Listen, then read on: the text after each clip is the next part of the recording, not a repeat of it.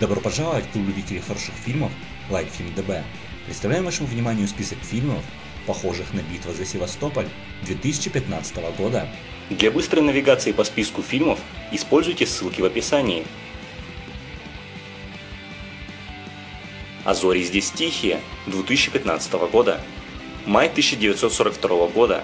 В самый разгар Великой Отечественной войны, вдалеке от линии фронта, у забытого богом разъезда, фашисты выбрасывают десант с целью пробраться на Кировскую железную дорогу и Беломорско-Балтийский канал. Это не обычные солдаты-пехотинцы, это опытные, тренированные диверсанты, элита войск СС, сверхлюди, а против них старшина Васков и пять девчонок-зенитчиц. Казалось бы, бой местного значения, но на кону стратегически важная транспортная артерия, соединяющая значимые центры страны. Смогут ли старшина и его хрупкие новобранцы предотвратить нацистскую диверсию и какой ценой? Снайпер 2014 года. Экранизация мемуаров морского котика из Техаса Криса Кайла, который служил снайпером в Ираке и стал рекордсменом по числу убитых солдат противника, за что иракцы прозвали его дьяволом. Кроме самой войны, фильм рассказывает о воспоминаниях жены Криса, которая была свидетелем растущей привязанности мужа к его сослуживцам. Сталинград 2013 года. 1942 год. Сталинград.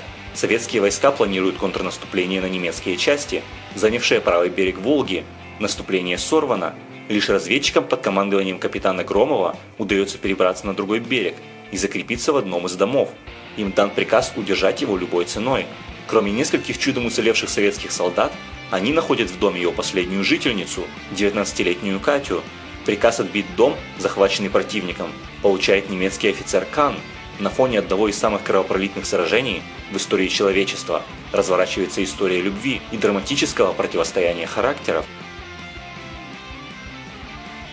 Брестская крепость 2010 года.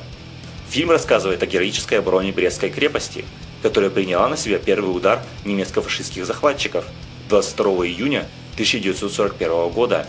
С документальной точностью описываются события, происходившие в первые дни обороны. Фильм рассказывает о главных трех очагах сопротивления, возглавляемых командиром полка Петром Гавриловым, комиссаром Ефимом Фоминым и начальником 9-й погранзаставы Андреем Кижеватовым.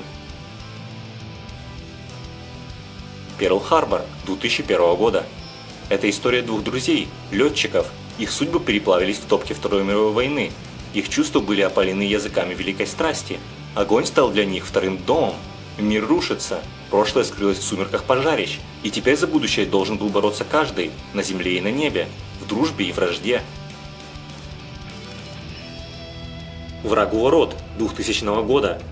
1942 год. Разгар Сталинградской битвы. Немецкое командование направляет на передовую своего лучшего стрелка, майора Кенига, с особым заданием. Этот опытный и терпеливый профессионал – единственный, кто может попытаться справиться с русским ангелом смерти, неуловимым снайпером Василием Зайцевым. Зайцев – легенда и икона для защитников Сталинграда. Каждый день он выносит смертный приговор десяткам захватчиков, попавших в перекрестие его прицела. Между двумя уникальными снайперами начинается смертельная схватка, победителем из которой будет суждено выйти лишь одному. Пишите в комментариях, какие фильмы по вашему мнению стоит добавить и другие замечания и предложения. Спасибо за внимание. До скорых встреч!